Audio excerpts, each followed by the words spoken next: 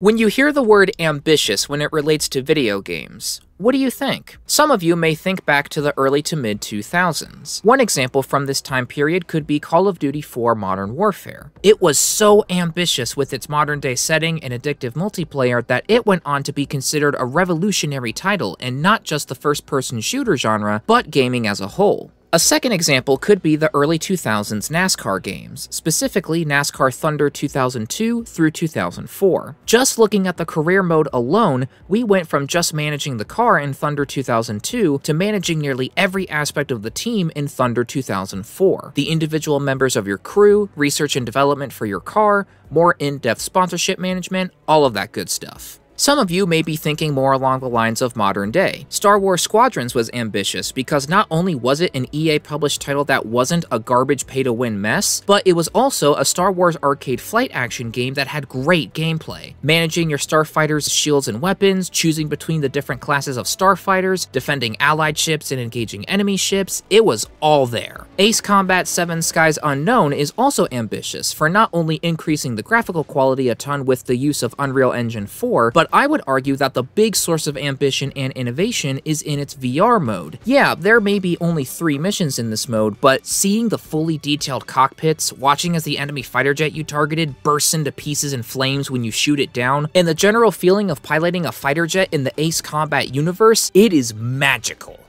Of course, ambition can be put in the wrong places, which is what makes ambition and innovation being put in the right places so special. One of the main instances in which ambition and innovation can be found is when a new video game franchise starts up. The first few entries can serve as the franchise finding its footing and honing in on what makes that franchise stand out from the crowd. Focusing back on the Ace Combat series, it began in 1995 with, well, Ace Combat. Also known as Air Combat outside of Japan, the name Ace Combat would be adopted worldwide for the series from Ace Combat 2 onward. Air Combat and Ace Combat 2 would prove to be the arcade flight action franchise establishing itself in the gaming market along with finding its footing. After the second entry, the team at Namco working on the series wanted the third entry to be the most ambitious and innovative entry yet. Air Combat was the series' first entry and thus plays more like a prototype when compared to the series today. Ace Combat 2 expanded upon Air Combat's gameplay and features, introducing many staples of the series known today, such as fictional aircraft, extra enemy aces per mission, and making the super weapon slash super fighter concept from the first game a mainstay. So far, the series have been gradually innovating at a steady pace. The third entry in the series, however, is when the team went full throttle and applied the afterburner. They went so full throttle, in fact, that I would argue it's this game that really set the foundation for the future Ace Combat games to build upon. And beyond that, the game itself is jam-packed with tons of features, lore, and lots of things to take an in-depth look into. Which is why, instead of this being a review, this is instead a retrospective of Ace Combat 3 Electrosphere.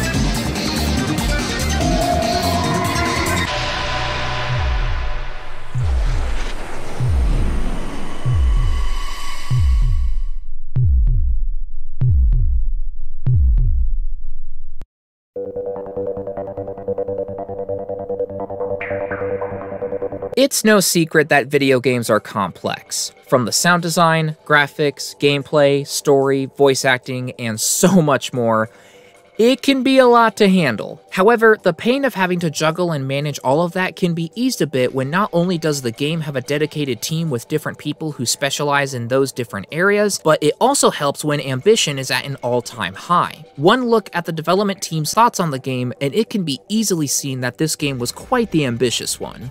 Ace Combat 3 Electrosphere officially began development in 1998, with Hiroyuki Onoda leading the team for this endeavor as the project leader. Right from the start, the team knew they wanted the third entry in the Ace Combat series to be their biggest and best work yet. So much so that they knew those who played the first two games would be surprised at how different this game would look and feel. Hiroyuki Onoda went as far as to say that he was hoping that players would be, quote, betrayed comfortably instead of it's the same game. He wanted to make sure that the changes and additions were significant enough to represent the leap forward for the series, but he didn't want to drive away those who had gotten settled in with the series having played the previous two games. How Onoda and the others on the team went about doing this was perfect. They kept the core arcade flight action gameplay and innovated the game around that. While I won't be able to go through every single thing the developers have said, I will touch on some of the key things that I think are really neat. And, of course, if you want to take a look at this full post-release development blog yourself, I'll leave a link to it in the description down below.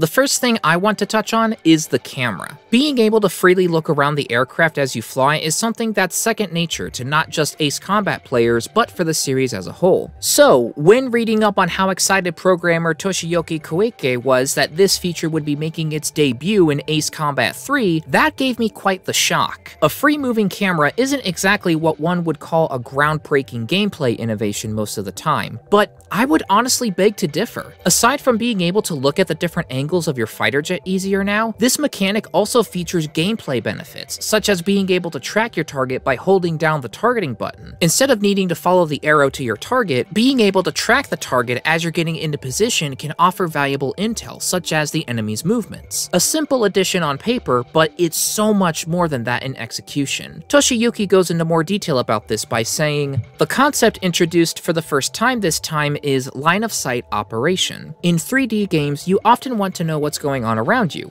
right? The neck used to be fixed, but I had a desire to somehow release it from the time I was making Ace Combat 2. This time, I am very happy to be able to reflect that feeling in the product. I like it so much that I play around with my point of view every time, so I can't help but to miss my right thumb unless I play with DualShock. You really have to be careful about sickness from the viewpoint. Another thing I found neat was fitting the game into two discs, at least for the Japanese version of the game, which we'll get into both versions of Ace Combat 3 later in the video. Toshiyuki explains how originally the game came out to just under two and a half discs worth of storage when the goal was to fit it onto two discs. Some compression later, and they were able to make their storage goal three weeks before the game was released. However, the data that can be held is 2.4 sheets, even if optimized and arranged, and it cannot fit in two sheets. By the time we have to do something about 0.4 more sheets, we have two months left until the deadline. I managed to get the data to be shaped up by a painter, and I managed to fit it into two discs by applying compression to compression and folding it into GYukaku three weeks before the deadline. Programming for a video game requires that the programmer has some creative thinking.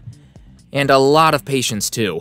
Focusing on the creative thinking aspect though, programmer Katsuhiro Ishii was in charge of the AI in the game, both for your allies and enemies. Katsuhiro tells of a unique way of testing the AI's performance in the game, by pitting the AI against each other multiple times to see how they behave and engage in combat on their own. This idea is genius to me, as it allows for the programmers to check the AI's effectiveness to allow them to have a helping hand in battle. Not so much help that it rips control away from the player or otherwise removes that main protagonist feel, but enough so that they're not just flying around there taking up space either. This kind of making is difficult and there are many difficult stories, but there are also many fun and interesting things. For example, checking the behavior of the aircraft. We checked the behavior of the aircraft this time by letting non-players perform survival battles with 30 aircraft and team battles of 5 to 5 with the prototype algorithm. After checking, make an actual mission, and it's time to sortie. When I started, Eric suddenly shot down Rena and Fiona on the first side. The targets escaped out of the area, really the smartest action? The comrades defeat all the targets and clear the mission. Really, the aircraft in the middle of production do not hear what they say is. And again, the algorithm is reviewed and checked again. Naoto Maeda was in charge of the mission design, how each of the game's missions would play out with the placement of enemies for the objective at hand. It's not something we think about too much, as long as the missions are designed well, anyway, as we're focused on just playing the game and playing through the levels that have been designed. But for Ace Combat 3, this task was more of a difficult one given how big some of the missions are in this game. Of course, even the most large scale of missions in Ace Combat 3 pale in comparisons to games and their battle sizes today. But when compared to Air Combat and Ace Combat 2, and taking into account the PlayStation 1 hardware at the time, this was a pretty big thing to take into consideration. I was in charge of mission coordination for the general route. Mission coordination? I don't really understand what you mean. This is the part where fighters and ground weapons are actually placed on the map while considering the tempo and difficulty of the game. This time, the number of aircraft appearing during the mission has increased considerably compared to the previous work, and the work was enormous in proportion to it. This is also a result of the efforts of the program staff. Is it really completed? I feel like it is.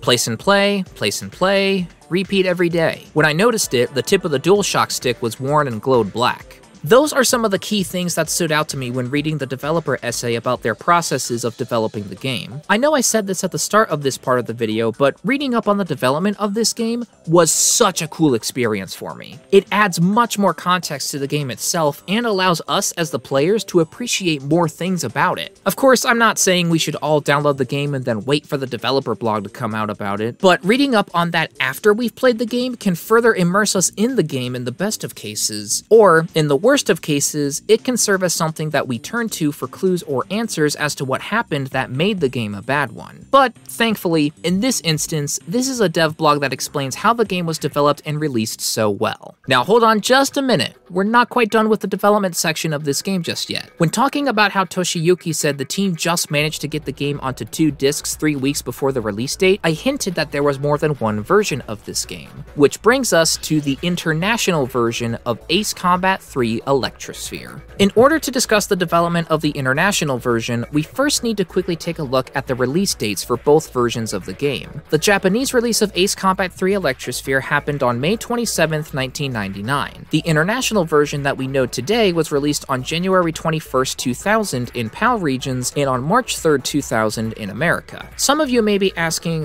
why is there this big delay for the international version? What's up with that? That is because an official translation of this game was in the works during that time. The original plan was for the game to be released in Japan first, and while those sales were going on, a translation team would be brought on to translate the game in its entirety, then the game was scheduled to be released internationally after that. The task of translating this game was given to the translating company Frog Nation. Frog Nation then reached out to Agness Kaku, a veteran Japanese translator for the purpose of helping out with this effort. So, the translation effort was in good hands. And then the funding was cut shortly after that. I was brought in to do a demo translation of a story chapter by people who were supposedly contracted to write the screenplay. Soon after, Namco decided to lighten the budget by ditching much or all of the plot content for the non-Japanese release. So then, what the hell happened with this translation? Agness Kaku said that Namco decided to lighten the budget, which implies that it was done due to financial reasons. Even though no official statement to this day has been given by anyone, there's been a general consensus as to what happened. When Ace Combat 3 released in Japan, it wasn't making as much of a financial splash as Namco was hoping it would. Keep in mind, this was the most expensive Ace Combat game to be developed at this point. Multiple voice-acted characters, larger battlefields, more complex AI programming, getting the most out of the graphics, 52 missions in the game when combining all of its routes, and so much more. And people need to be paid for their work. With how expensive Ace Combat 3 was to develop on its own, how much the translation efforts were going to cost, and with the company not getting its money back through their predicted sales goals not having been met, things were going in a downward spiral financially speaking. So, in order to save money from what Namco had deemed a failure in terms of sales, they cut the funding for the official translation, which resulted in the half-baked international version that we have now. What makes this even worse is that the funding for the official translation was cut after advertisements were made for the official translation to audiences outside of Japan. In other words, people outside of Japan were first shown the Japanese version of the game and were told, see this? This is what you're going to get in a few months from now, but fully translated for you. So to go from that to being told, actually, the translation is canceled, you're going to be getting a poor man's version of this game. It's quite understandable that people were very upset at Namco. Yes! Yes! Yes! Yes!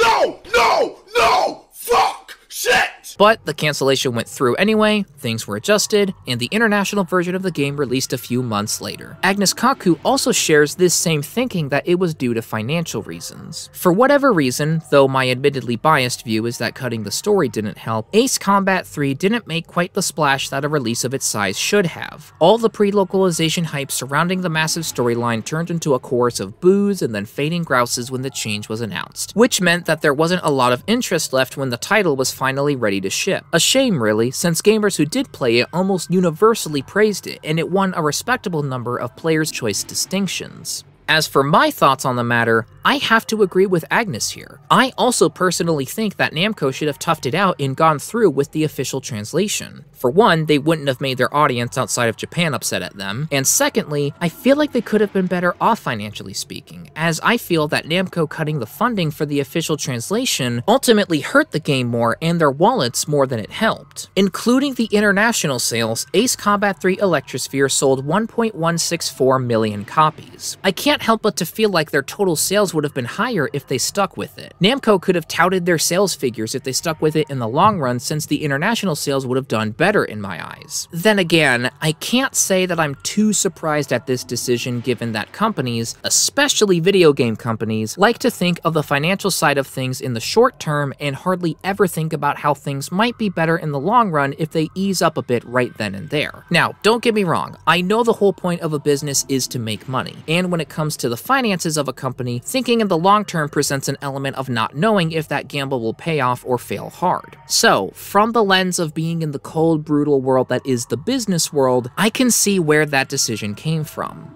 I don't agree with it, but I can understand, as unfortunate as that decision was. Some of you with a keen attention to detail may have noticed that I was referring to the official translation of Ace Combat 3. Me using the word official means that some other translation efforts had to have happened at some point, right? Well, my fellow Ace pilots, you are correct. In 2009, a group of people known as Team Nemo got together and began a years-long mission to fully translate Ace Combat 3 into English. Managed by project manager Dragonspike 13, 13, or would it be Dragon Spike the 13th? While the team states that there isn't any roadmap or any kind of development blog regarding their journey of this process, they do provide some milestones. In 2009, the project began. 2010 through 2012 was spent digging and hacking through the game data, and in 2016 they released the first full translation of the game. Even though this full translation is with text only, as I would imagine Team Nemo didn't have the money to hire voice actors for this translation, it's still incredible to see all of the text translated. Of course, not every single piece of text has been translated, as in the menus whenever there's text, it's more often than not in Japanese, but all of the in-game text has been translated so that those of you who aren't experienced with the language can understand what's going on in the game. This marks the first time that a game in the Ace Combat series has been translated, and I have to applaud Team Nemo for sticking with it for this long. Even though Ace Combat 3 didn't sell the best, and even though the game is one of the more divisive ones in opinions about it from what I've seen in the Ace Combat community, they still went through with it. It's because of their translation efforts that so many people are able to play this game. On that note, let's dive in and see what Ace Combat 3 has in store.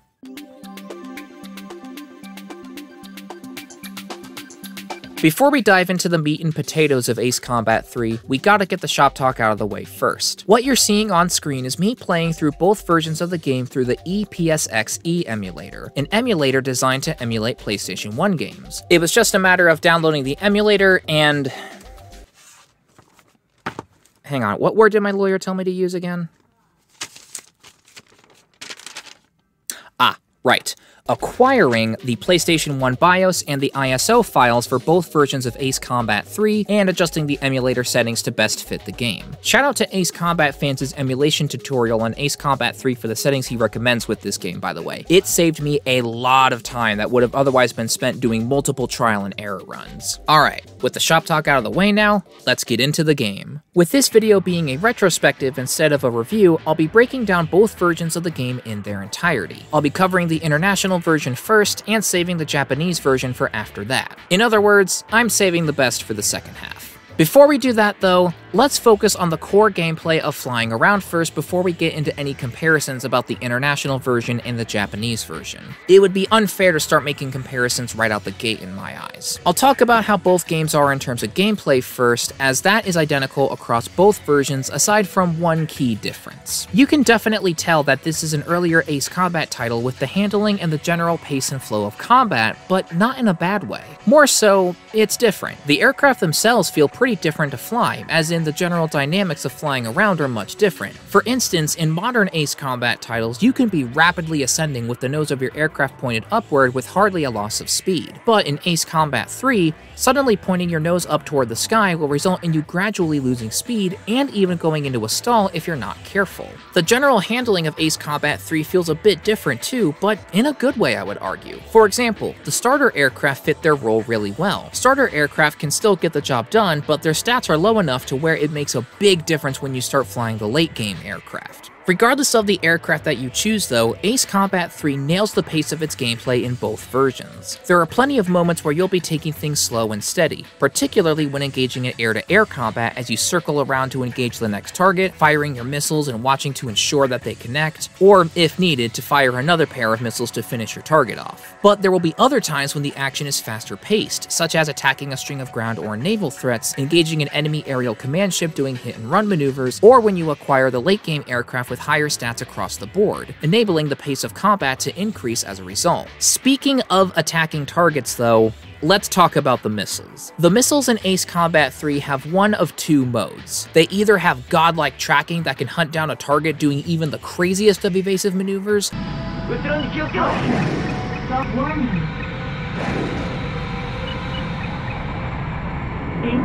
or the missile tracking can go into smooth brain mode and miss entirely, even when the enemy is not taking any evasive maneuvers.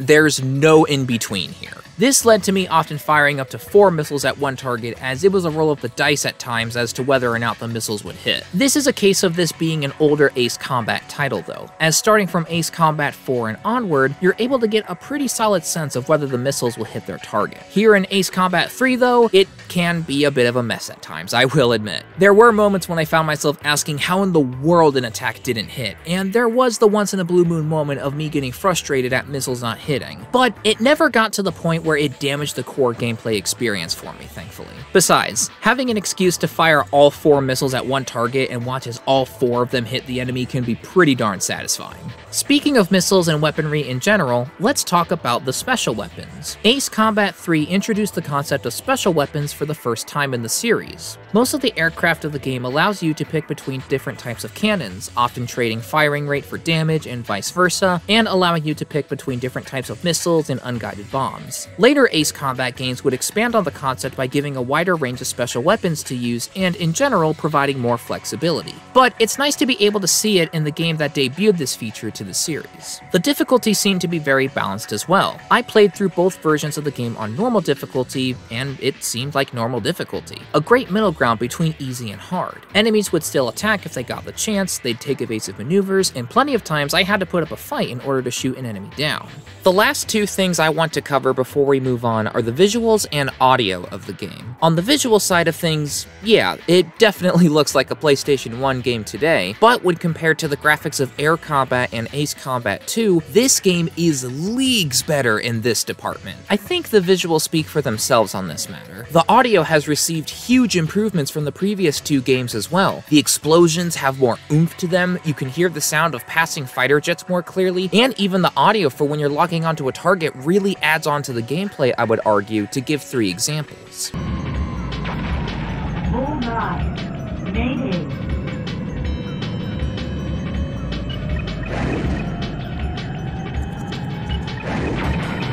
Bullseye. Bullseye. Mission accomplished.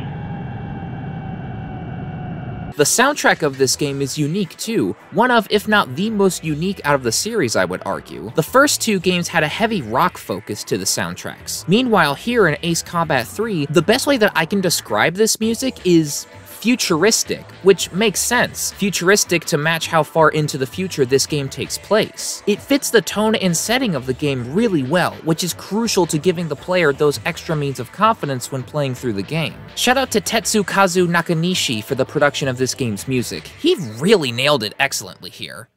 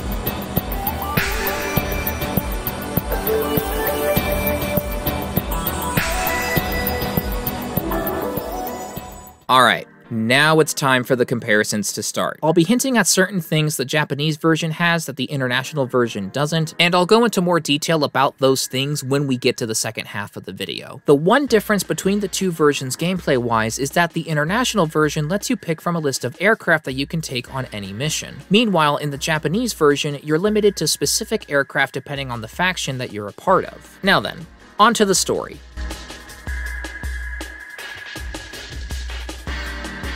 The international version of Ace Combat 3 takes place in the Ace Combat world of Strangereal on the continent of Usea. The year is 2040, where corporations have surpassed the powers of traditional governments. The idea of countries and governments have been abolished as mega corporations have such vast amounts of power and influence that their policies dictate how the world goes nowadays. The two big corporations out of them all are General Resource and New Work, the latter of the two being known as Neucom in the Japanese version. General Resource and New Work are in a cold war as they're fighting for economic dominance. In the middle of these two companies is UPEO, the Universal Peace Enforcement Organization. UPEO serves the role as being the authority figure for Usea as it's their goal to maintain peace between the two corporations. Given that both General Resource and New Work both have their own private military forces, and given how both companies want the other out of the picture for total economic dominance, well, the reason for UPEO existing to begin with starts to make a bit of sense. UPEO consists of people who aren't from General Resource or New Work.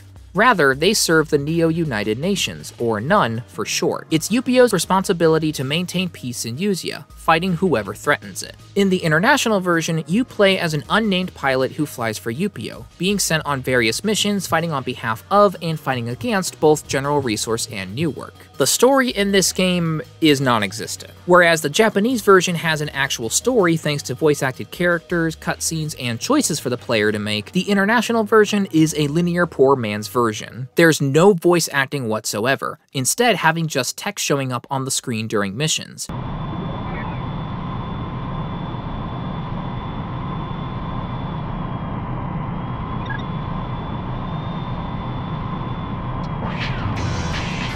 Oh. And due to the story from the Japanese version being removed entirely for this version, there wasn't enough time to make any new cutscenes or record any new voice acted lines for the game. So they replaced those cutscenes and voice acted lines with walls of text. I'm not kidding.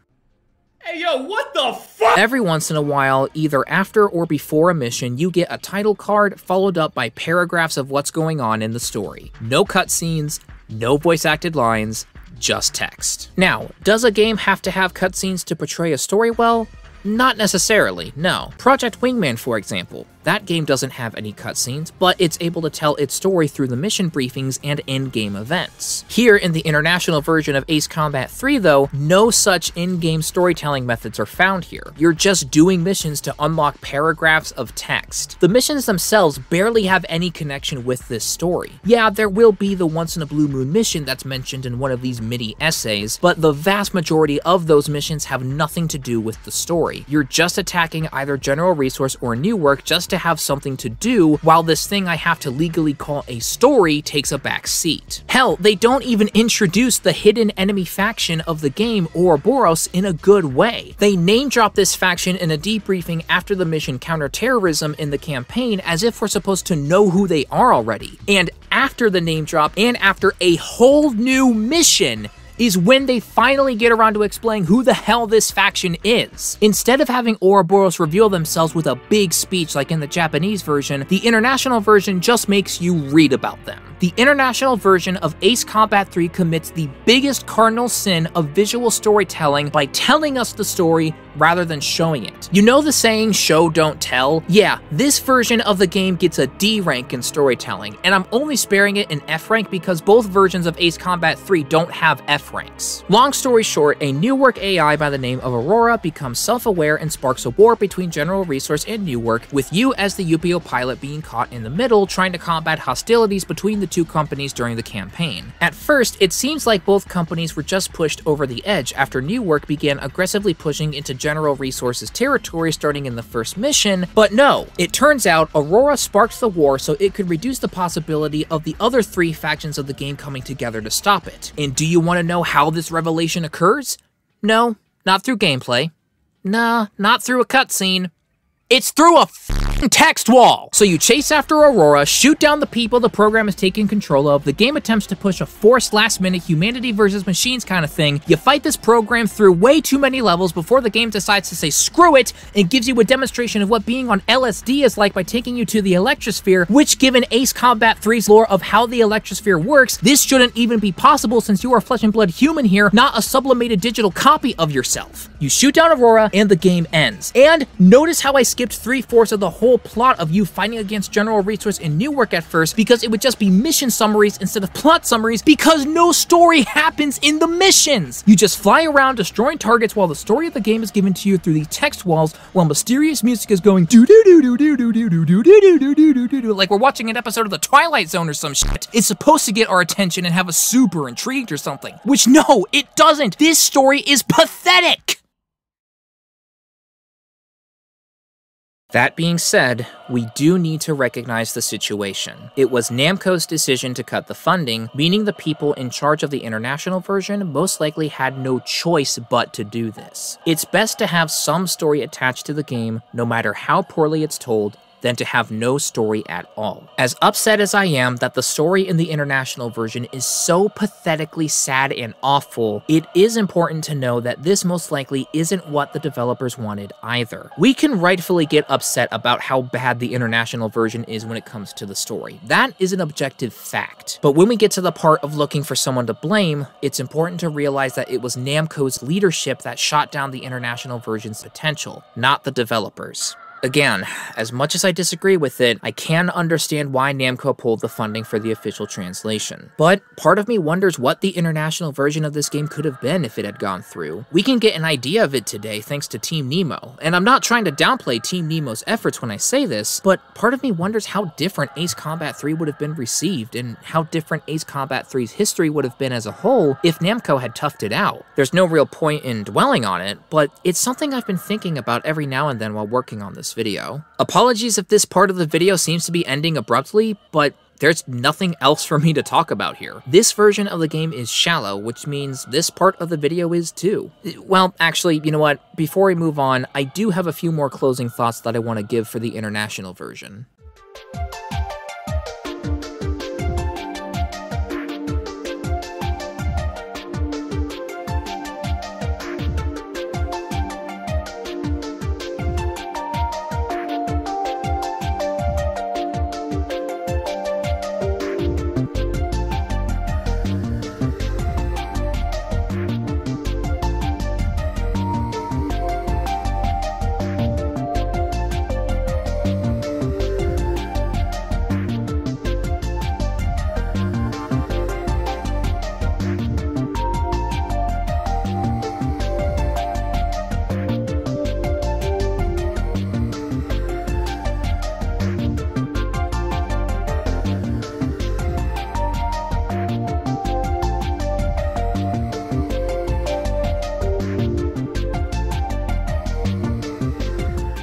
The Japanese version of Ace Combat 3 is where the ambition and innovation for this game truly not only in the gameplay, but particularly in the story. Starting off with the gameplay, it's interchangeable with the international version except for two key differences in regards to aircraft selection and exclusive missions depending on which route you take. In the international version, you're able to pick any aircraft at any time. With the Japanese version, you're limited to a select number of aircraft depending on which faction you're a part of, which we'll get to that part next. At a first glance, it may seem like this game is restricting the freedom of aircraft and weaponry choices, and initially, that's what I was worried about too. Even though this game came out many years after Ace Combat 3, I got some PTSD flashbacks to Assault Horizon and how that game limited your aircraft selection, forcing you to pick among a small list of aircraft for the mission. However, Ace Combat 3 does this limited aircraft selection in a great way. Firstly, it gives you a healthy selection of aircraft to choose from to start out, with more aircraft being gradually added as you go down that path. With those aircraft being from different categories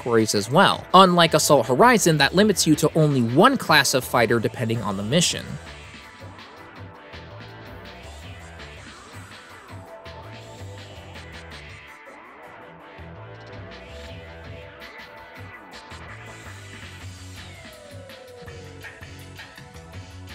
When did this become Ace Combat 3 Electrosphere versus Ace Combat Assault Horizon?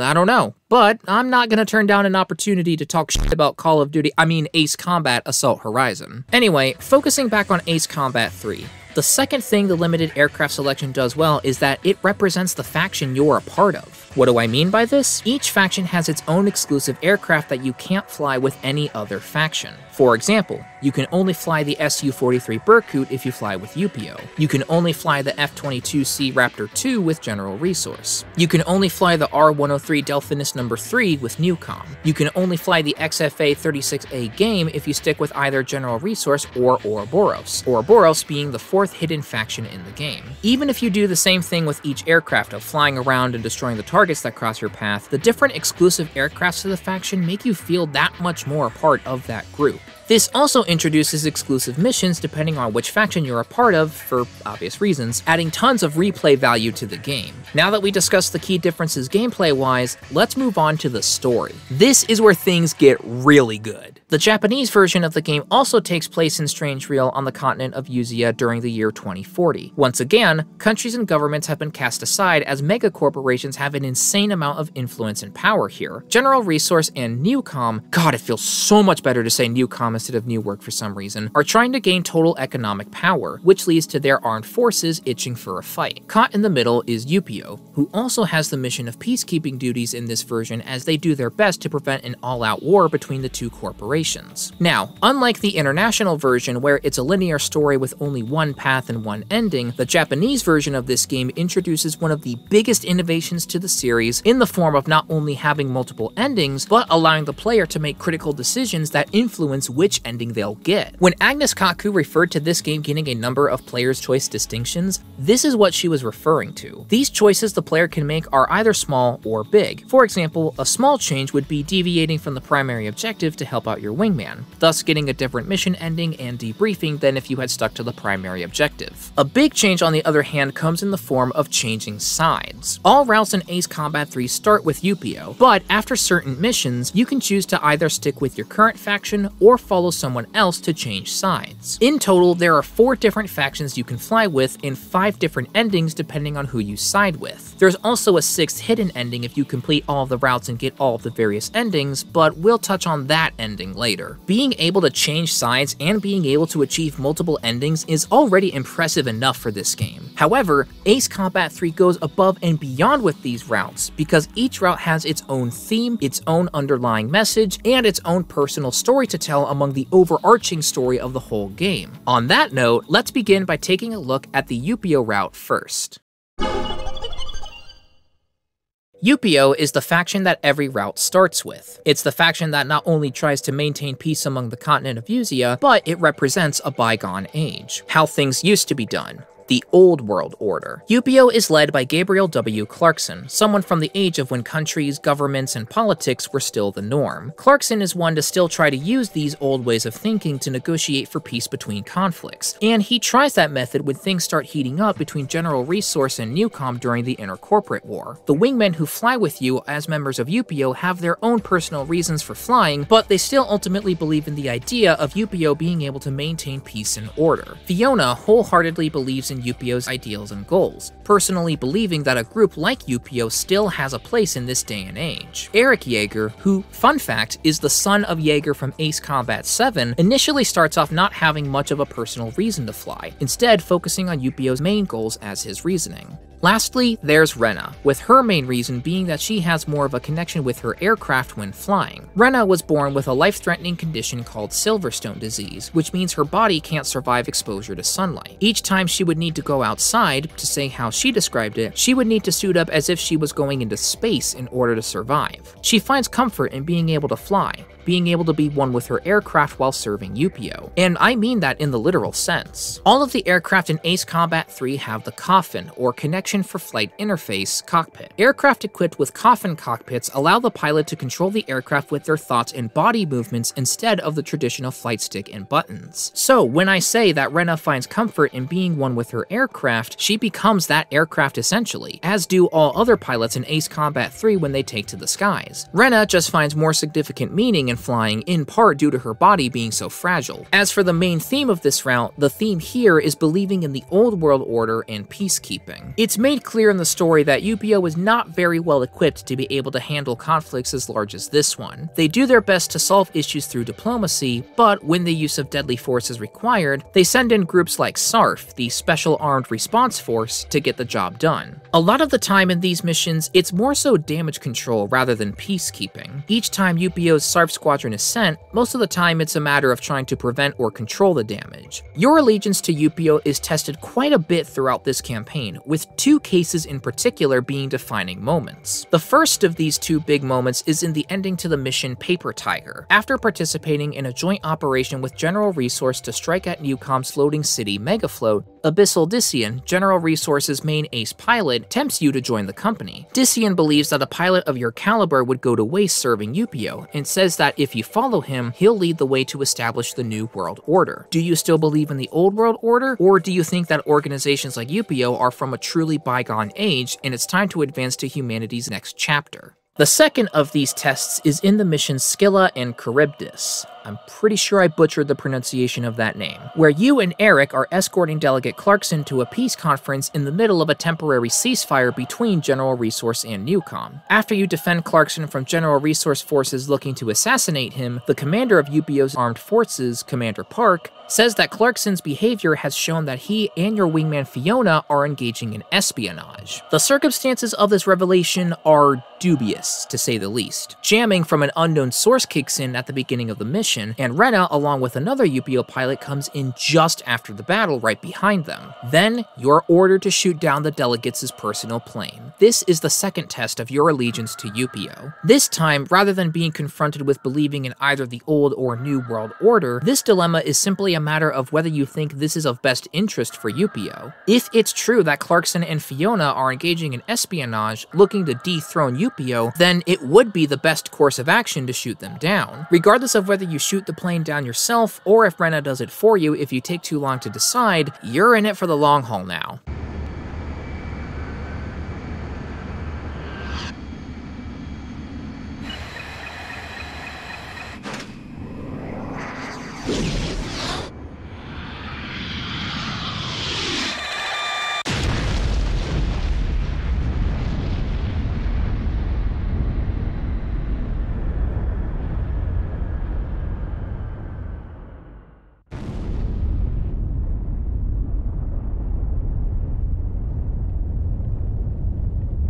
This is also when Eric's reasons for flying are tested. He was flying for UPEO's ideals and beliefs. Seeing not only Delegate Clarkson, but one of his closest wingmen and friends, Fiona, shot down really messes with him. The next mission, Eric is dejected, asking himself why he's even flying for UPEO still. Rena responds that Eric is doing it for the sake of flying, further reinforcing her own reasoning for flying. If it means being able to fly more, then Rena has no problems with shooting down Clarkson if you won't, and doesn't show any sign of remorse at first. Rena eventually plainly explains that she did what she did because flying is important to her. Even so, she realizes she'll probably never be forgiven by you or Eric. Rena's beliefs are challenged as well, though. In the mission Bug Hunt, you're tasked with exterminating nanobites. These nanobites are, among other things, able to take over someone else's mind and make them a robot. This is important because this is what Rena has been wishing for. Well, kind of. Her true goal is to be able to discard her body and live on in some other way, shape, or form, be it in the electrosphere as a piece of human software, a robot, anything. And it makes sense why she would want to do this. Her whole life, her body has been a limitation to her thanks to her having Silverstone disease. Her cursed body has been a burden on her, forcing her to have gone through test after test after test growing up, and she was most likely seen as the odd one out in places like school, for example. Her body has given her so much trouble throughout her entire life that she wants nothing more than to get rid of it somehow. That is, until her mind nearly gets taken over by the nanobites. The nanobites are able to gradually take control of your plane if you get too close to them, and given how in Ace Combat 3, pilots control their aircrafts with their minds and bodies, if the aircraft gets taken over, so too does that pilot's mind.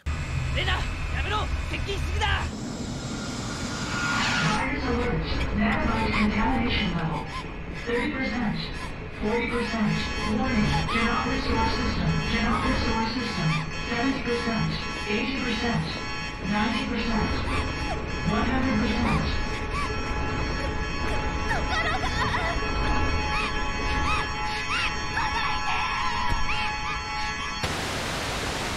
This was the very thing that Rena wanted at first, to become something other than human. Even if it meant she was a machine, she wanted nothing more than to discard her Silverstone disease stricken body. But when her goal is put to the test, that shakes her up, to the point where she looks at herself differently after that mission, fully embracing herself instead of wishing she was something else entirely. As for Eric, rather than leaning on UPEO's ideals and beliefs as his reasoning for flying, he finds his own personal reasons, that being restoring UPEO to its former glory and former mission statement when all hell breaks loose a few missions later. This is what drives him to be able to continue flying, even when the situation for Usea and UPEO as a whole gets a lot worse. With Eric's and Rena's personal conflicts having been resolved, now it's time for UPEO's conflict to be resolved as well.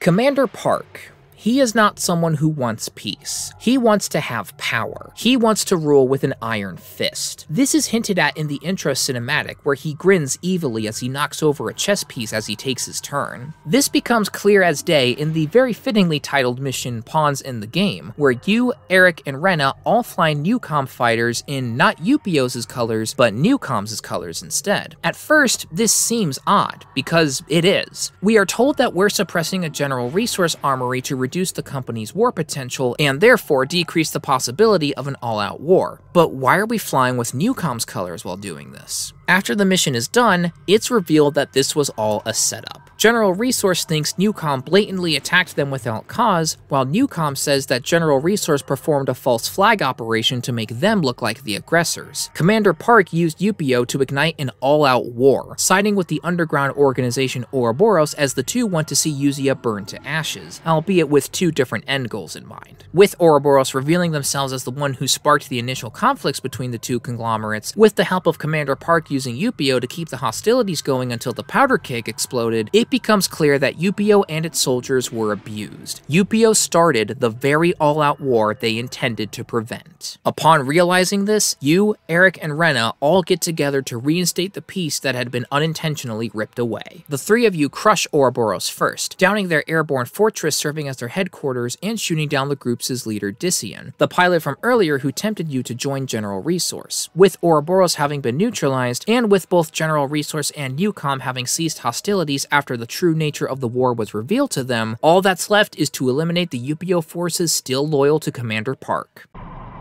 扉が開いたぞ突入するパーク貴様ら死んでなかったのかディジョンがお前を待ってるぜ Clear to engage. Caution. Pull up. Full drive. Mission accomplished. After Park and his followers are wiped out, the game ends on a bittersweet note. UPEO is in shambles. You and Eric aren't sure what to do or where to go next. Rena was shot down while fighting Ouroboros' HQ, but she's alive and well as revealed by the ending cutscene, and there's a general sense of uncertainty. Despite that feeling though, UPEO has redeemed itself. You, Rena, and Eric, as pilots of UPEO, restored peace to Usea.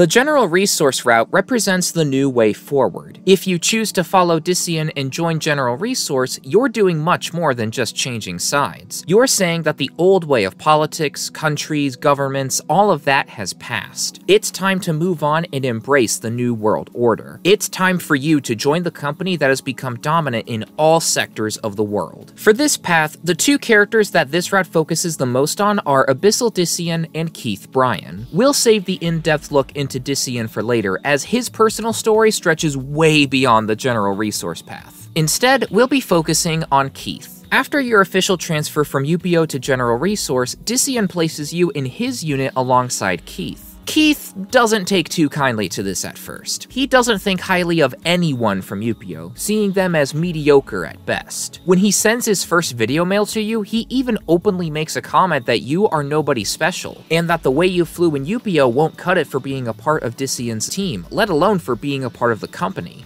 However, as you two go on more missions together, Keith starts to ease up on you as you get to unleash your full potential. So much so that when you make it to the latter half of the general resource route, Keith openly admits that you're better than him, and you've earned so much respect that he even considers you a close friend. You can see it in his words, facial expressions, and general attitude, how he goes from writing you off as an ex UPEO pilot to not only accepting you as an ace pilot of General Resource, but also a friend. よう新入り確かにお前の腕はゼネラルでも中の下ぐらいであることは認めてやる。だがなディジョンにちょっとばかし気に入られているからってでかい顔はするな。お前と奴ではレベルが全く違う。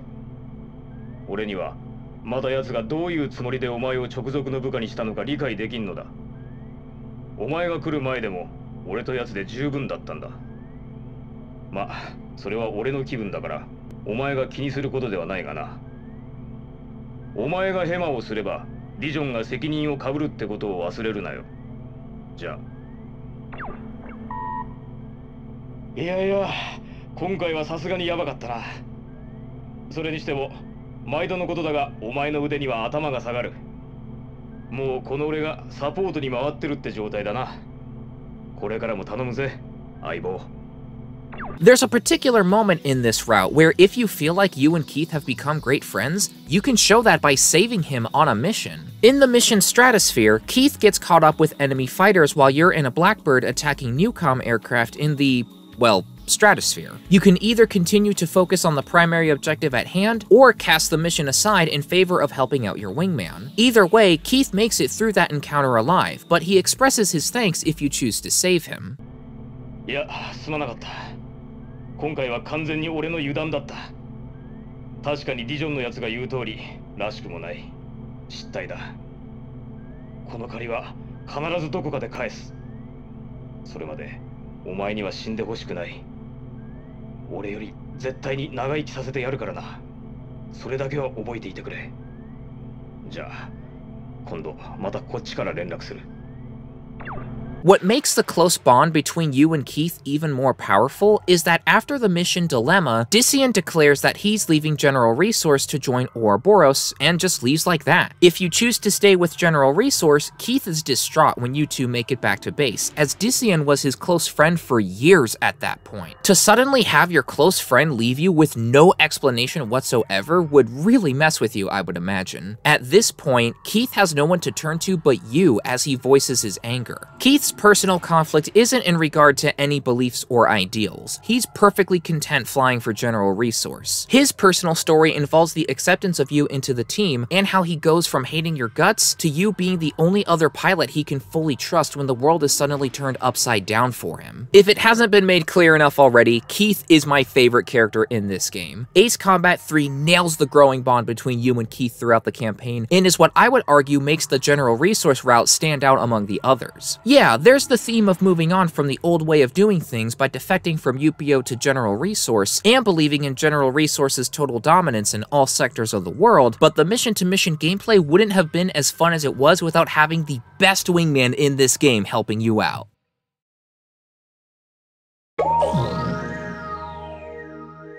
What's interesting about the Neucom route in terms of how you join that faction is that you more so suddenly become a member of the company out of the blue rather than joining it on your own. Going back to the missions Scylla and Charybdis, I probably butchered the pronunciation a second time just now, if you decide to shoot down the allied fighter accompanying Rena instead of shooting down Clarkson's plane, a squadron of Neucom fighters will swoop in and join you in escorting the plane. From there, you're guided to a Neucom airbase where you officially transfer from UPEO to Neucom. It may seem like a pretty sudden transition, but think about it. You just got attacked by General Resource and you just shot down one of your allies, meaning returning to UPEO is no longer an option either. You have no choice but to go to Neucom at this point. Once you officially transfer, the cast of characters for this group is focused on Fiona and her sister, Cynthia. Where did Eric go, you may be asking? Eric just kinda went, I'm dead! Ah! No, seriously, he just vanishes from the story this point onward. He doesn't give you a call when you transfer to Neucom, he doesn't go with you on future missions, he's just gone. Focusing back on the two that still exist in the physical plane of the universe, we have Fiona and Cynthia. Fiona manages to take the sudden change of flying for Neucom now rather well. She doesn't appear to be at all distraught that what she's flying for is no longer to maintain peace between the two companies. I think a big part of why she's able to take this sudden change so well is that she's now flying alongside her sister Cynthia. Cynthia has been a part of Neucom from the beginning, believing in their technology-focused mindsets as she believes experimenting with new tech is the way forward. General Resource does this as well, but Neucom takes the obsession with futuristic technology to the extreme. This is why Neucom stands out among the other factions in the game for being the most technologically advanced one out of them all. Their aircrafts are unlike anything we've seen in terms of aircraft design. Oftentimes, instead of cannons, we have pulse lasers to replace them. There's even a mission in the Neucom route where you take a starfighter and go to space to shoot down General Resource satellites. The theme of the Neucom route is focusing on the technology of the future to an obsessive degree, while also challenging you on your stance of sublimation, which we'll get to in a second. While Neucom is a sizable company, sizable enough to challenge General Resource for economic dominance, Neucom is more so focused on the cutting-edge technology of the future. Cynthia believes in Neucom's beliefs, ideals, and mindset wholeheartedly, while Fiona believes there should be some limits set in place. In particular, with the technology of sublimation. For those of you who don't know what sublimation is, strap yourselves in because it is some eerily fascinating stuff. Sublimation is the process of creating a digital copy of yourself. Your mind, your personality, everything that makes you who you are, copied and uploaded onto some sort of computer network. Essentially, a copy of you living as a piece of software instead of in a human body. Cynthia believes that sublimation is the way forward, while Fiona believes that the technology is too dangerous, claiming that sublimation is playing God. 姉さん ニューコムで実験を予定しているサブリメーションの被験者に姉さんの名前が。ああそのこと？志願したの？何のために私が今までニューコムにいたと思ってたの？いつまでも姉さんは同じ夢を見るなら眠ってる時だけにしてよ。夢？ただの夢扱いする気？あなた私の何をどう知ってるつもり？誰にも口出しさせない。たとえたった一人の妹にも姉さんは体や心まで捨てようとしているんじゃないの？まだ実験も成功していないサブリメーションなんて。無茶よ。一体何が知りたいの？誰もが進むべき次なる世界。そう。まだ誰も体験したことのない。全てが新しく未知の知覚や感覚によって構成されている宇宙を知りたい。生きる者が必ず持つ肉体が精神や魂といった未知の可能性を秘める存在にまで限界を作っているのよ。たとえそうだとしても姉さんが望んでいるのは自然から与えられた人の力を超えてる。それは危険な力だわ。そう。その通り私が欲しいのは選ばれた者が手にすることのできる。新しい世界への扉をこじ開ける力よ。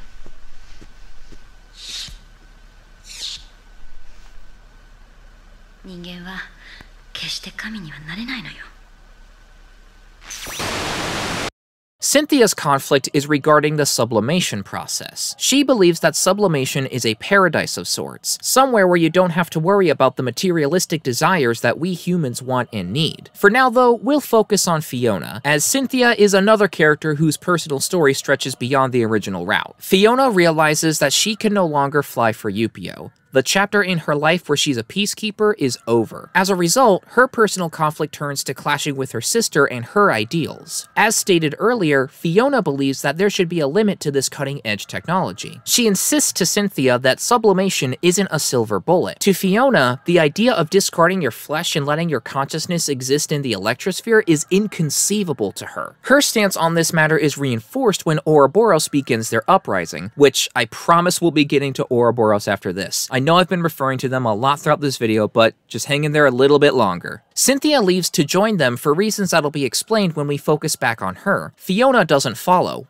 begging for her sister to not leave. When Cynthia does leave, Fiona is distraught when you and her return to Neucom. She was holding on to the fact that she was fighting alongside her sister now as her main reason to fight for the company. With that gone, she needs to find something else to keep her flying. Her newfound purpose is not only to destroy Ouroboros, but to save Cynthia if that's still possible. The ending to this route is a bittersweet one. While you and Fiona managed to destroy Ouroboros, Cynthia couldn't be saved. Fiona says that she's leaving Neucom at the end, essentially saying she's no longer going to be a fighter pilot for her career. The ending cutscene shows her heartbroken and devastated over the loss of her sister when suddenly Cynthia appears on the screen in front of her. Or rather, a sublimated Cynthia. The sublimated Cynthia explains that she's grateful that her body was destroyed. She can now live on in the electrosphere, no longer restricted by the needs of her body. Fiona reacts not with joy that her sister is still alive in some form, but rather with even more heartbreak. Reason being, the sublimated Cynthia is a copy. In other words, she is not the true Cynthia. The sublimated Cynthia should behave, speak, and act just like the flesh and blood Cynthia, but Fiona rejects the digital copy of Cynthia because she doesn't see her as her true sister.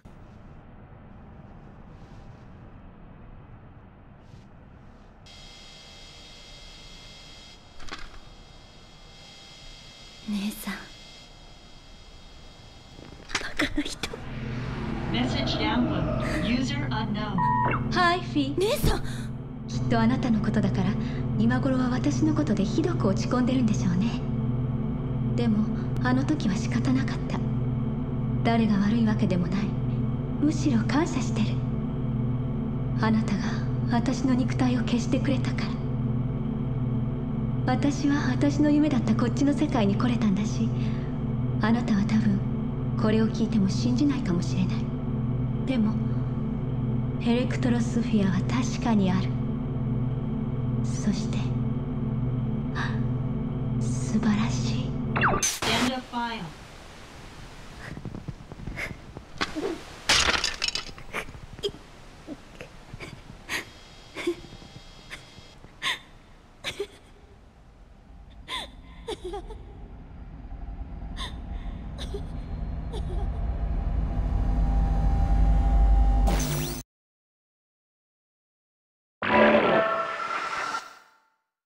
Long last, it's time to take a look at the Ouroboros path. Firstly, what even is Ouroboros? I've hinted at this being a shadowy underground sort of faction. That is because of Ouroboros' goal. Ouroboros is a group of transhumanists who believe that sublimation is the next stage of human evolution, and that the current state of the world is holding mankind back from achieving that goal. The constraints of being a flesh and blood human being don't exist when you're sublimated in the electrosphere. Your body doesn't need food, water, and sleep to be maintained because you don't have a body to maintain when sublimated. Beyond that, the group believes that humanity will be better off sublimated because they believe the wants of the world have corrupted the planet. The reason their movement is so forceful is because Ouroboros knows that not everyone likes the idea of undergoing sublimation. People like Fiona, for example, flat out reject the idea and stand firmly against it. In order to achieve their goal of the sublimation of all humanity, this revolution of theirs has to be a forceful one. Most likely, Ouroboros plans to force everyone to undergo sublimation before killing the flesh and blood version of everyone, before eventually finishing themselves off too, leaving Usea and eventually the whole world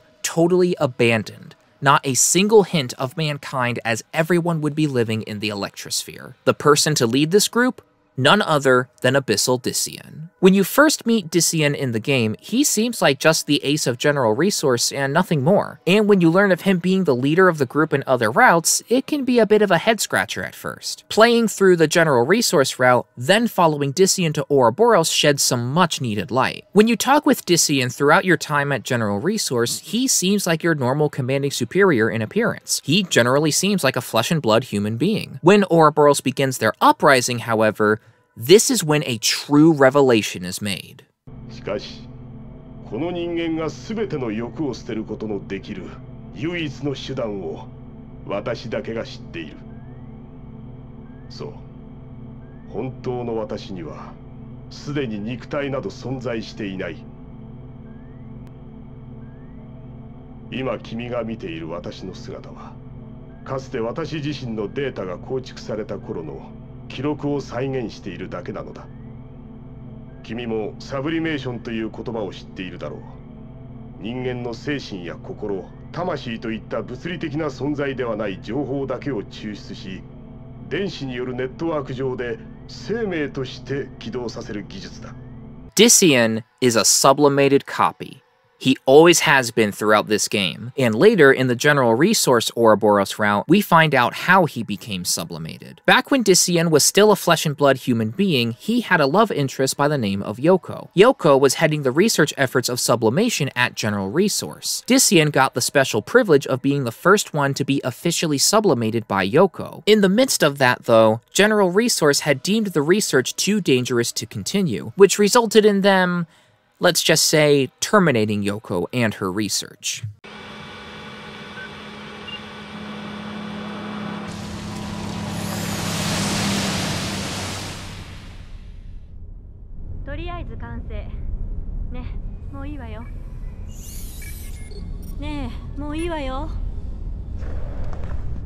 と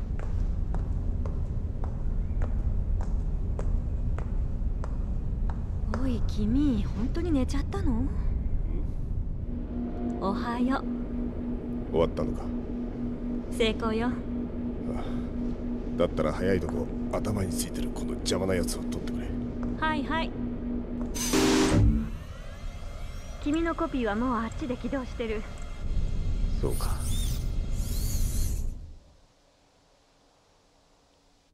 ほら見てこのカメラ。こっちを見てる。誰だ？ヨコもう終わったんだろ。ちょっと真面目に。後にしなさい。ヨコ俺はここにいるぞ。聞こえないのか？ヨコやめろ。そいつは俺じゃない。ヨコここ。はなんだこいつらは。爆破する気か？ターゲットは確認したか？2人しかいません。よし。負け添えはあの男だけで十分。あと30秒。撤収。テロか？陽子。逃げろ陽子。ダメだ。聞こえない。陽子陽子。早く早く気づいてくれ。陽子陽子。陽子。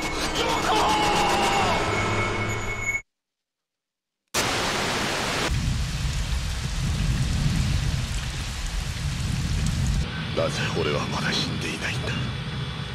陽子。お前は俺に何をしたんだ？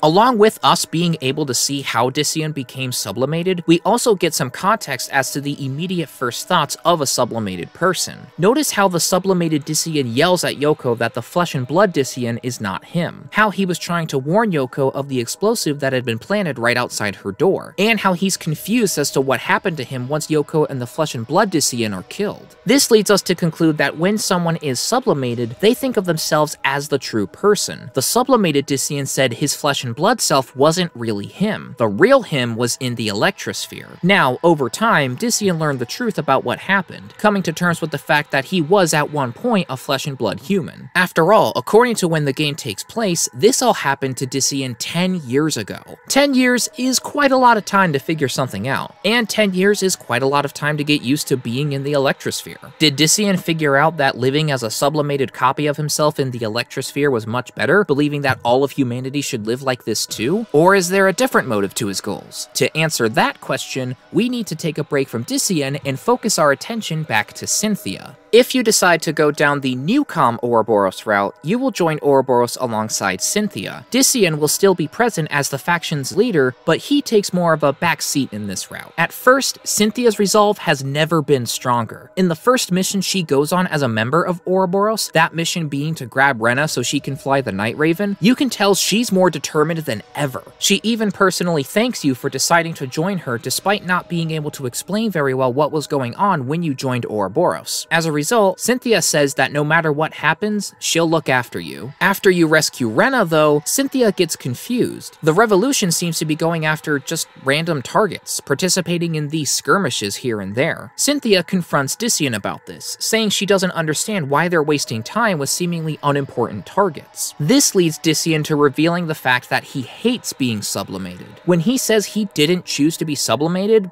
I mean, that is a true fact. The flesh and blood Dision wanted to be sublimated, but the copy of Dision doesn't want to be there. Being unaware of all that had happened at General Resource those 10 years ago, Cynthia's world gets turned upside down. She realizes that Dision doesn't want humanity to be sublimated because he feels it's the next stage of human evolution, and he doesn't see the electrosphere as a paradise, even if he's been preaching that publicly. Deep down, Dision just wants to watch the world burn for what happened to him. It's in this route that Cynthia's beliefs on being sublimated change drastically. Previously, Cynthia thought of the electrosphere as a paradise, a heaven of sorts, where she would be able to roam freely without the constraints of a human body. But upon hearing how Dision, the very man she looked up to as inspiration for wanting to be sublimated, states how he hates being in the electrosphere, she no longer wants to be sublimated.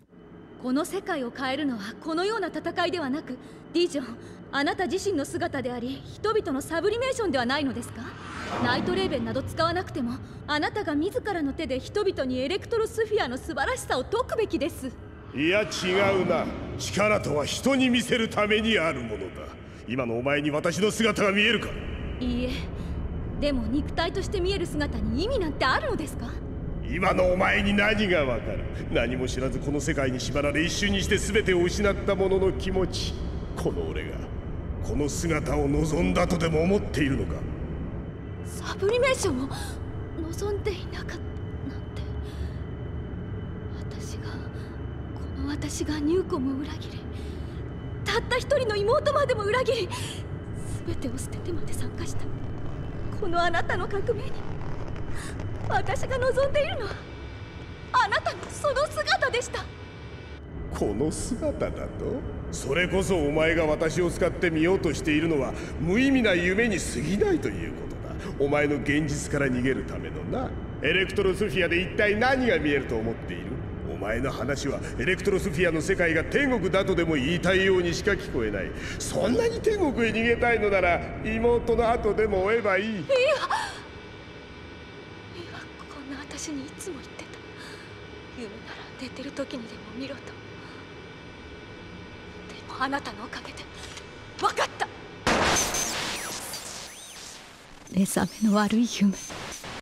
You and Cynthia then team up against Ouroboros, wiping out the aerial fortress, Dision, and Rena. After you shoot down Rena, a man by the name of Simon says that you two have been forgiven and are able to return to the company, in fact, ordering you to do so. But the route ends with Cynthia saying that it's up to you whether or not you two should return to Neucom or fly to somewhere else. She says that no matter what you decide, she'll follow you. Except. There's something not quite right about that ending cutscene. Cynthia asks you where to go, but upon hearing no response, she asks you if you can hear her. At first, this may be chalked up to the main character being a silent protagonist. After all, the protagonists in Air Combat, Ace Combat 2, and the international version of Ace Combat 3 are all silent. At first, that may appear to be what's going on, but then when you look at all of the routes, things start getting more and more weird. For example, in the General Resource route, in the mission Betrayal, you have a moment where seemingly irrelevant conversations happen in the background.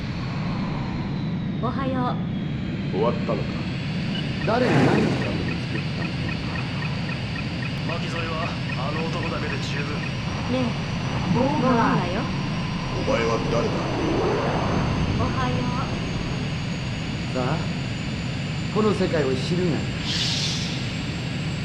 俺に何をした？ほら見て。こっちを見てる。あと30なぜ俺はまだ死んでいないんだ君のコピーはあっちにもう終わったんだろ私が見える？俺たちがお前は誰だ？私が見える。やめろ私が見える？私が見える。まだ死んでいない私が見える。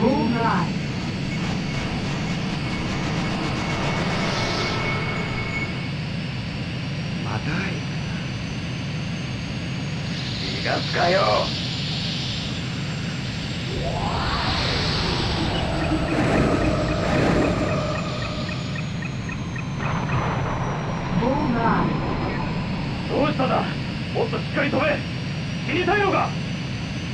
The screen goes haywire for a bit before everything suddenly returns to normal. Keith asks if everything is alright, assuming you had zoned out or were close to blacking out. In the mission Arch Nemesis in the Ouroboros route, you see what at first appears to be a cutscene of Rena's repressed memories that she is somehow remembering now. But then, she acknowledges that someone is peeking into her mind, and then those memories are seemingly erased. Then Dician suddenly accuses you of being an enemy. But wait a minute. We're on Dision's side in the Ouroboros route. Why are we fighting him? After completing all routes of the game and getting all of the endings, this is when the biggest revelation of them all is made through the hidden ending.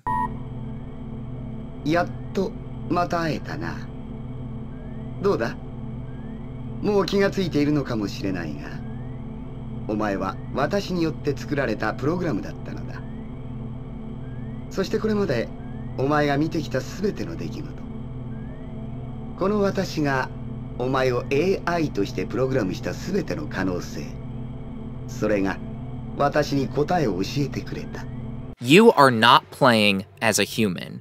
You are playing as a piece of AI in a simulated war. All of the missions, all of the aircraft, all of the characters and their motivations, it's all a simulation. Well, mostly. While all of the routes in this game have huge differences from one another, there is one key thing that's consistent among them. The sublimated Dision gets killed in each one, or rather, I should say that the sublimated Dision gets deleted from the electrosphere in each one. With this, we can reason that Simon, the one who created this AI program, has something against him. The cutscene ends with Simon saying that you've done an excellent job and that it's time for you to be released into the real world, to presumably wipe out the real real sublimated Dision from the Electrosphere. This is why I said mostly everything was a simulation. Yoko and Dision being killed by General Resource Forces halting the research into sublimation did happen. A sublimated Abyssal Dision does exist, but the inner corporate war was all a simulation for the AI program to be tested in. Having made it through the war each time with multiple factions to join, Simon believes his AI has enough combat efficiency to wipe out Dision in the real world. So then, what is the reasoning for Simon to do this?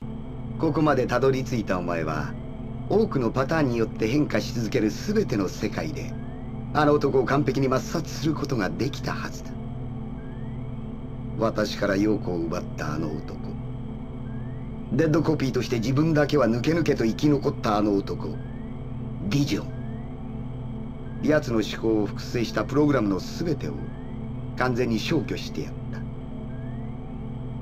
可能性は全て見せてもらった Wait. What? Is that is is that really the reason? So Oh, okay, okay, hold on, hold on. Let me get this straight. Simon and Yoko were close, but Yoko was already in a relationship with Dision. Then, when they both died at the hands of General Resource, Simon puts the blame on Dision and is so distraught that he goes out of his way to create an AI program capable of skillful aerial combat just to wipe out Dision for good, when Dision wasn't even the one responsible for Yoko's death, as he was just at the wrong place at the wrong time. What the fuck? Simon is such a simp for Yoko that he feels compelled enough to spend what I presume to be years creating this highly advanced AI program, all for the sake of eliminating one sublimated copy of a person because he feels like Dision is the one that killed Yoko when, once again, it was General Resource and these people, not this guy, these people who made the explody boom boom box go beep boop for a bit before the numbers began to count down before exploding. What has me so dumbfounded at this revelation isn't the fact that Simon wants revenge on the person who took his love interest, or supposedly because again, it wasn't Dision. If I had a lover and that lover was taken away from me by someone, I would be totally fine facing a possible life sentence if it meant that I well, I, okay, I can't exactly say it in this video because if I do, then this video will at best get age restricted and at worst it'll get taken down entirely, but you know what I mean, right? It's the fact that after all this time, Simon still blames Dision for it. Dision wasn't the one who called up General Resource and recommended this course of action be taken. He wasn't the one to arm the explosive, and he definitely wasn't luring Yoko into her lab only to undergo sublimation and then make out with her afterwards to buy time for the team to make their way inside the lab to do the job. As I stated earlier, Dision was just at the wrong place at the wrong time. I'm not trying to say that revenge stories aren't feasible in video games. A story-driven video game where you have to solve a murder mystery, for example, or when you're someone else's pawn for the sake of revenge can do wonders for a game's story. It can work really well still. It's just so silly to me that Simon puts the blame not on General Resource, but Dision and Dision only. You know what though? To Ace Combat 3's credit, this revelation is still better than relying on the overused internal political struggle in Russia featuring Russian rebels plot that Assault Horizon has. Focusing back on Ace Combat 3, there is one more thing in relation to the story that I wanted to talk about the AI program itself. Firstly, the AI's canon name. In Ace Combat 3, when starting up a new save file, you can erase the pre-written name and type in a new one. However, the name that's already typed in is important, because not only is that the AI program's canon name, the name itself is Nemo, Latin for no one. The player isn't a human, but rather an AI. Not someone, but rather something. The second hint is in the ending to the Neucom Ouroboros route. After shooting down Rena in the Night Raven, Nemo and Cynthia are both directed by Simon to return to Neucom. By the sound of it, both of them have been forgiven for initially joining Ouroboros. Once it's just Nemo and Cynthia again, Cynthia tells Nemo this.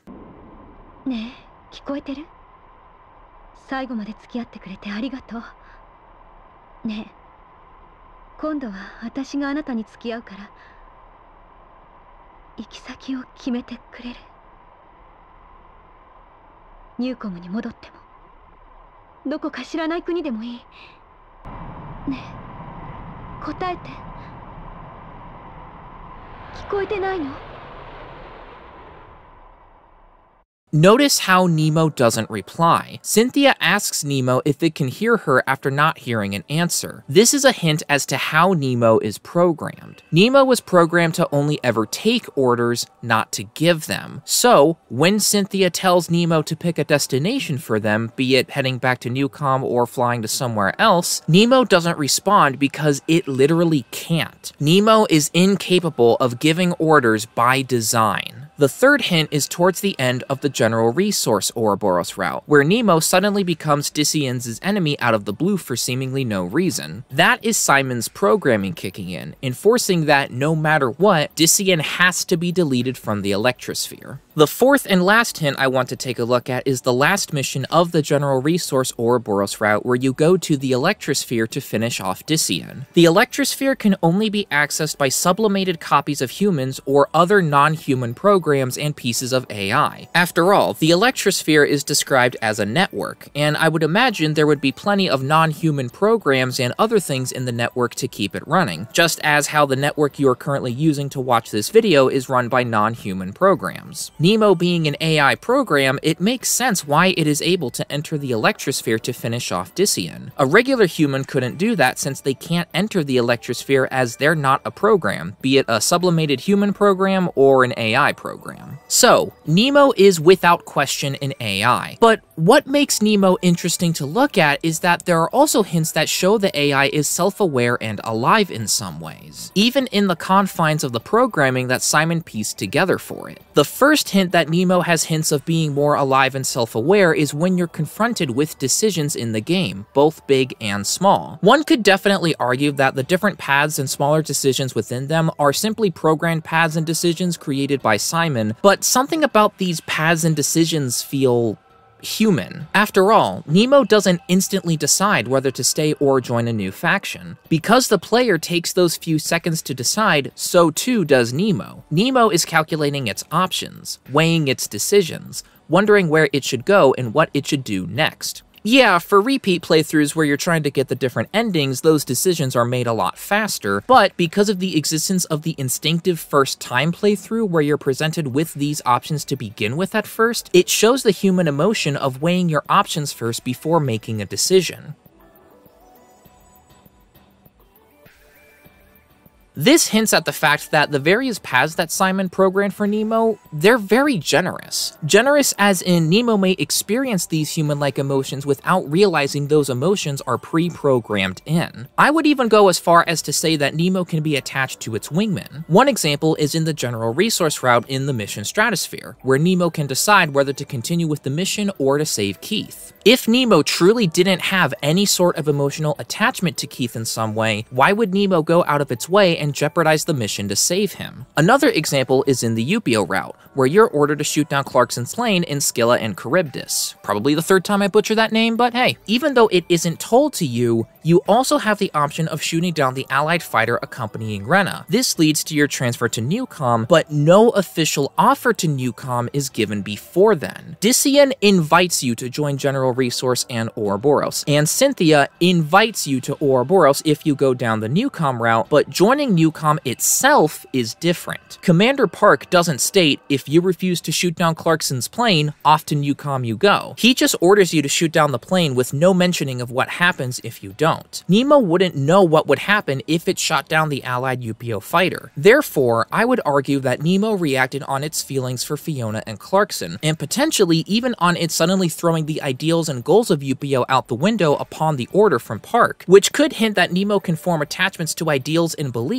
as well. Another thing to support the idea of Nemo being able to have ideals and beliefs is in the Ouroboros route. If it agrees with Dision that sublimation is for the good of the world, then it has a reason to follow him. If it was just a strict by-the-books program, Nemo wouldn't even consider joining Ouroboros to begin with because it wouldn't be able to experience any sort of attachment. There may be more examples in the game to show that Nemo is more alive than most people may think at first, but those are the big examples that I felt were important to emphasize.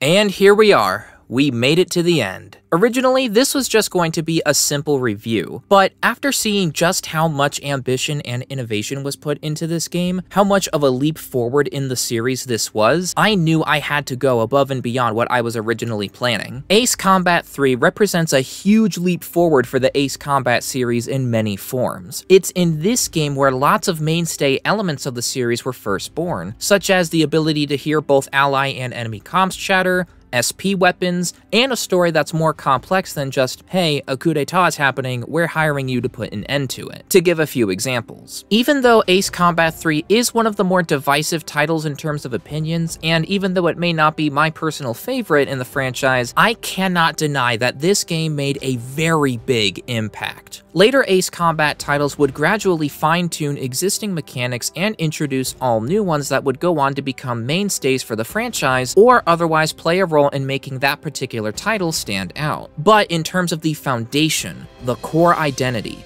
the roots of the franchise, the main thing this series revolves around, I believe it truly started here. As I stated way back in the beginning of this video, Air Combat and Ace Combat 2 were the titles that showed that Namco and the team making the Ace Combat series were building that foundation. Ace Combat 3, on the other hand, represents the Ace Combat series having a true solid idea on what it wanted to be moving forward. All of the titles moving forward include gradually larger scale battles, having multiple allies with you, as well as an increased unit count in general on both sides. Later Ace Combat titles would also expand on the SP weapons concept, special weapons becoming a core part of the loadout for your plane in the series. Later Ace Combat titles also expanded on the communications chatter, expanding from being able to hear main characters from both sides to being able to hear main characters and miscellaneous characters from both sides. And those are just a few examples I'm giving for the sake of brevity for this video, as if this video has any brevity to begin with. Ace Combat 3 is not only a good game to me, but an important one. All long-running franchises have that one entry that establishes the core of what it wants to be for the future. For the Ace Combat series,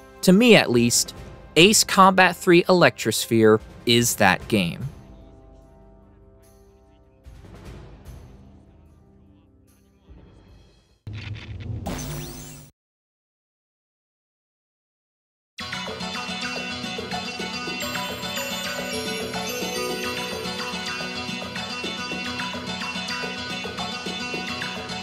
So, this video has taken me far too long to finish. At first, I thought I was just under a year behind when I first expressed interest in making an Ace Combat 3 video.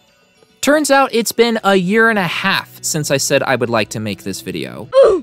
Since then, I did need time to legitimately research on how I would not only play but record this game, but after that research, I kind of just let Ace Combat 3 take a back seat because I was wondering what I would need to do to upgrade my hardware. And here I am only recently having realized I don't need any hardware upgrades. My laptop can run and record the game just fine. Which, on the note of this video being out super, super, super late, shout out to Daniel Pogreb for having the patience of a saint for this video. They were the first one to recommend this game to me to make a video on, and I said, yeah, I'll do it.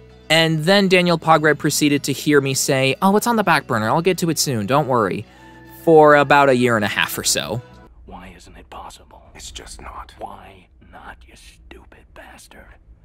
At least as a silver lining of sorts, this taught me to be careful about accepting game review requests since I can't be reckless about those because otherwise I'll be making any viewers who want that video wait a super long time, and I don't want a repeat of this whole thing of me saying that I'll eventually get to it and then that wait is a year, a year and a half, however long. I really don't want that happening again. Either way though, once again, shout out to Daniel Pogreb for putting up with me and the wait for this video. Beyond finally getting this video out after it being so long since I said I would make it, I am just super proud of this video. I know I said that about everything great about Ace Combat 7, so I'm already on the trend of sounding like a broken record, but I truly am happy that I got my first true retrospective on this channel finished and published. Being able to do a true retrospective of Ace Combat 3 was really fun to do, and I would love to do more retrospectives if the opportunity presents itself for the future. Speaking of retrospectives, I also want to shout out Snickety Slice Video on Ace Combat 3, as that was the main source of inspiration for me for changing this video from a review to a retrospective of my own. And it was also the video that helped me out with the section on the themes and characters of Ace Combat 3's story. His video is among the other sources I have listed in the newly added research sources section in the description of this video. Originally, I was going to have a whole disclaimer before the video dived into the different factions and characters, saying how if something I said echoes what Snickety Slice said, all credit goes to him. But then I realized that I could just add the research sources section because one, the flow of the video isn't interrupted that way, and two, I can make this section of the description a new mainstay for when I need to do more in-depth research for future reviews and essays. That being said, I know that not everyone looks at the description of a video, and for pretty obvious reasons, I don't want to be accused of plagiarism, so starting with this video moving forward, any sources I use for a review or essay video will also be credited in my outros as well as you have seen here. Given that, my outros from now on will be more of a credit slate kind of outro, where I'll be listing all the gameplay, music, other videos, and as I just stated, any research that I will have needed to do for a video. On the note of Snickety Slice's video though, if you haven't seen his video yet and you're interested in more Ace Combat 3 stuff, I strongly recommend you give it a watch. Also, also, one more thing,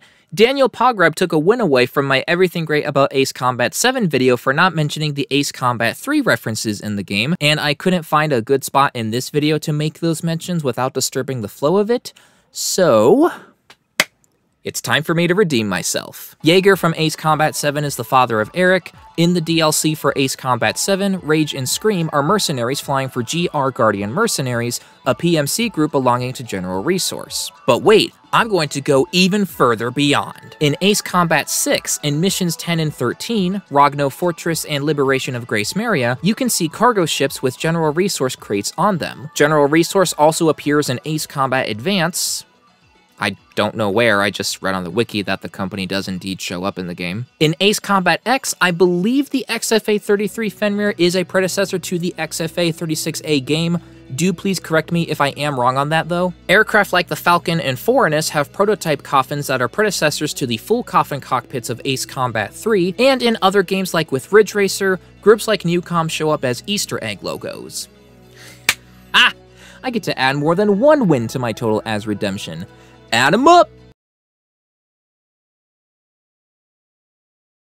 Once again, I am super proud that I got this video out at long last, and I hope that the effort that I put into this video did show. With that being said, thank you all for watching. I hope you enjoyed. If you did, go ahead and leave a like, drop a comment, and if video game reviews and essays are a type of content you enjoy here on YouTube, hit that subscribe button, and be sure to hit the bell icon to receive all notifications for future uploads. Until next time, this is Thunderous Folf, signing off.